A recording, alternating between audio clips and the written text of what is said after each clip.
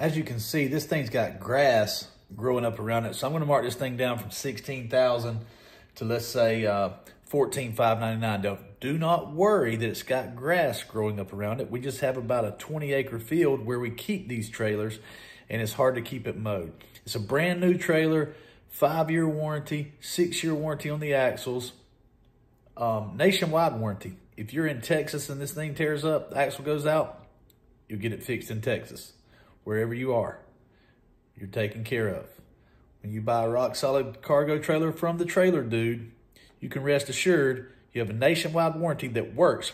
A lot of dealerships and manufacturers have a process for handling warranties, and it goes like this. You buy the trailer, they tell you it has a warranty. You get down the road, you have a problem, you call them. Crickets. Crickets.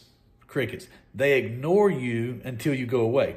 When you buy a rock solid trailer from the trailer dude and you get down the road, and let's say, we don't want this to happen, but let's say that the brakes mess up on the trailer.